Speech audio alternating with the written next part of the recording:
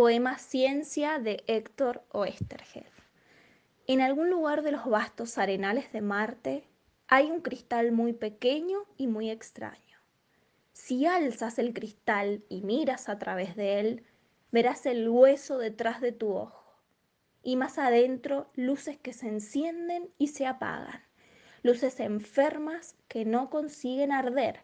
Son tus pensamientos si oprimes entonces el cristal en el sentido del eje medio, tus pensamientos adquirirán claridad y justeza deslumbrantes.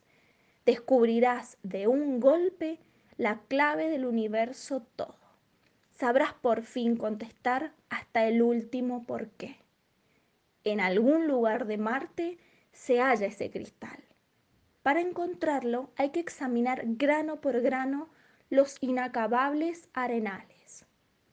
Sabemos también que cuando lo encontremos y tratemos de recogerlo, el cristal se disgregará.